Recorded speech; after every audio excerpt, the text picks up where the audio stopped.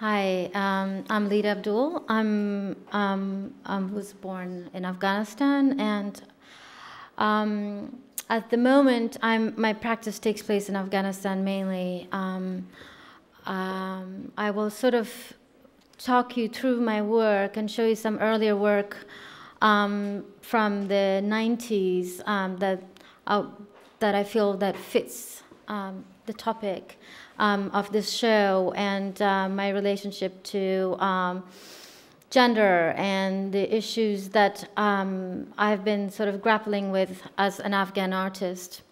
And as you know, um, Afghanistan um, sort of is um, a, a, place that, in one sense, has become a metaphor for not only for war, for uh, 25, 35 years of war now. Um, but it also has become a metaphor for a struggle um, that um, Afghan women are going through um, on a daily, daily basis. So I will go ahead and show you some of my earlier work, uh, especially this one, um, which I feel abstractly deals with these issues of feminizing the the textual space.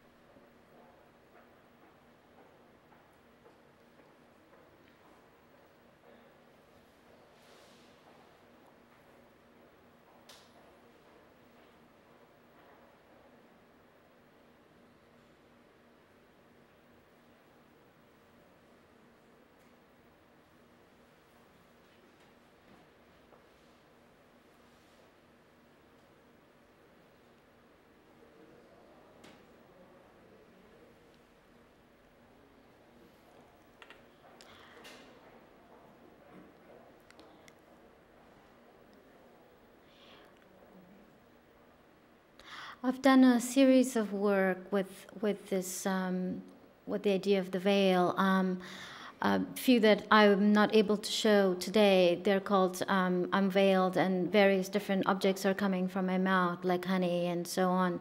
Um, um, and they're called global porn.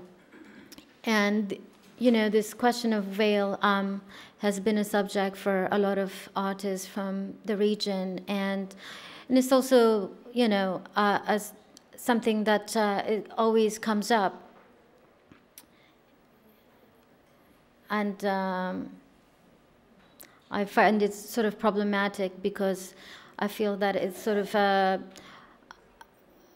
something that sort of ho hold on to both from the Western side and from the from the Eastern as a means of as a symbol of freedom and um, liberation.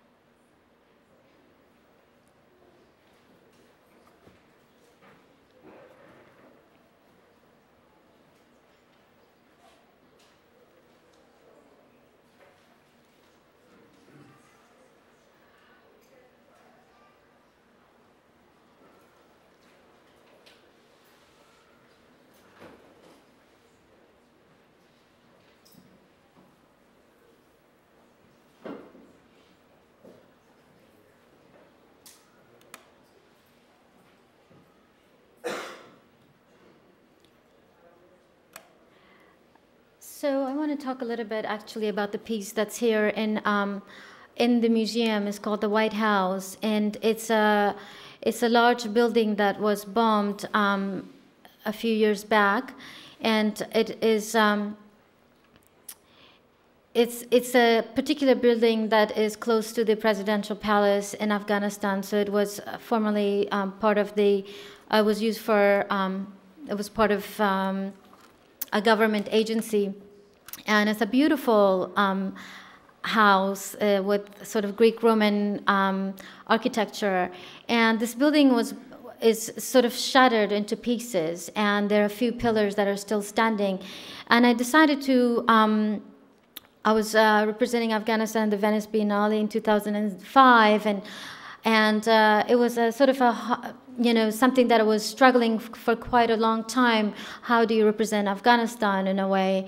And and that was the piece for me. The um, that I came up with, where it took two or three uh, days to, you know, paint this whole area white, even the the little tiny sort of stone that's left um, of the building, and it's turned to this gigantic sculpture, and it's and it's uh, tra completely transformed. And at one point, this man comes across my painting stroke, and even he is painted. His back is painted white, and um, and at the end, these sort of um, these animals um, take over the space. Um, so for me, this was sort of a symbol of you know what Afghanistan somehow has become.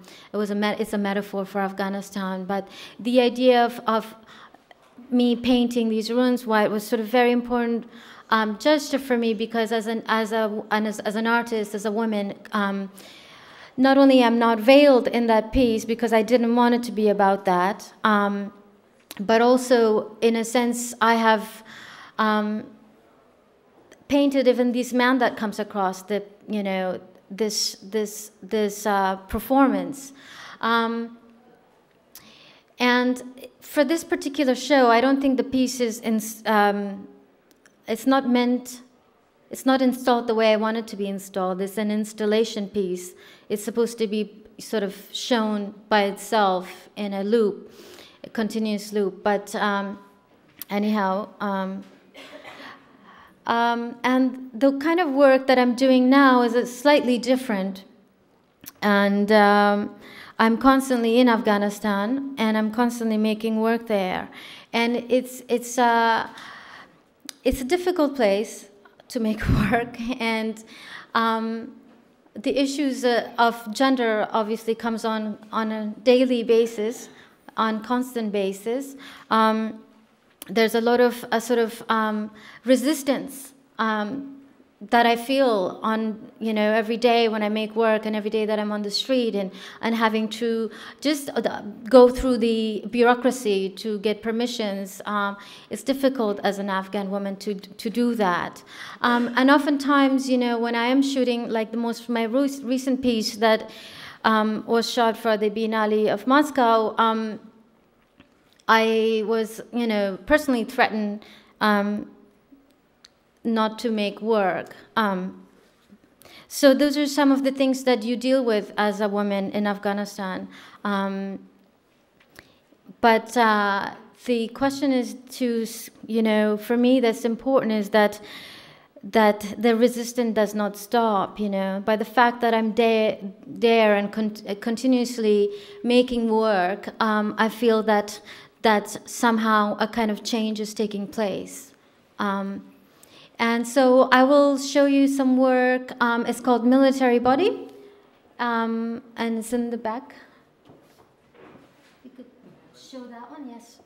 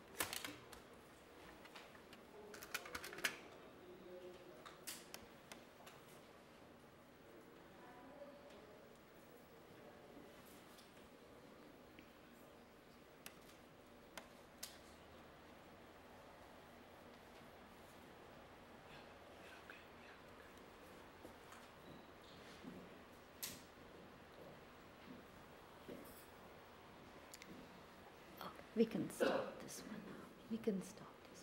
Yeah. So this is a continuous installation. Uh, it's a continuous loop, so it would be again an installation setting. I will take you to this um, a series of work that I did in Kabul. Um, this was done in 2002, uh, before the White House, and uh, this particular piece, what I what I've I, I started a project for myself where I started painting um, military equipment uh, like tanks and helicopters and any any any debris that was left over.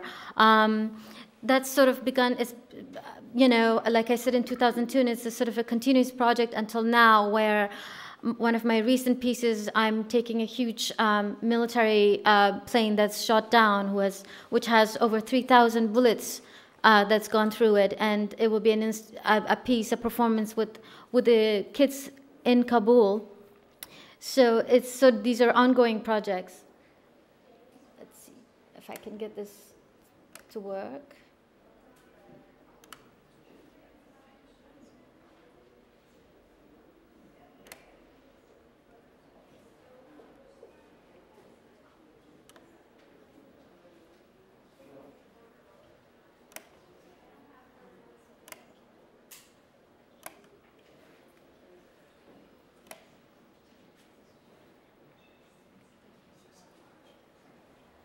Sorry, I can't see a thing.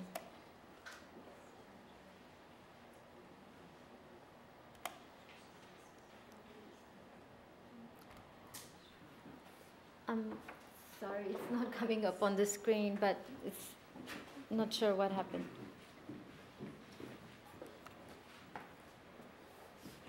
Is it not getting? to the No. screen?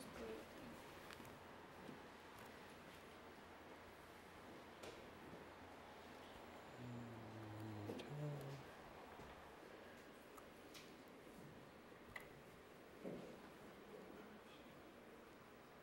Give it a second.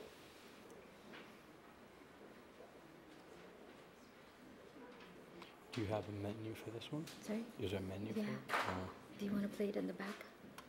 I don't know. You can we'll just play the to- first piece in the Okay. back. Yeah, let's try that. Okay.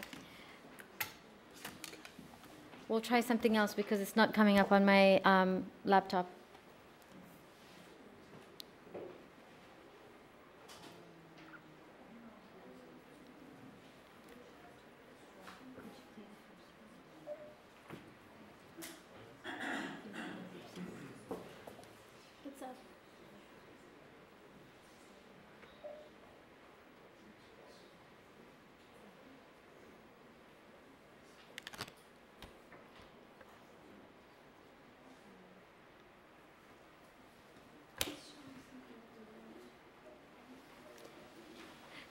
Can just play.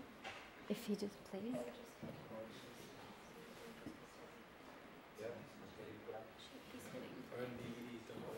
Okay, my DVD is not working.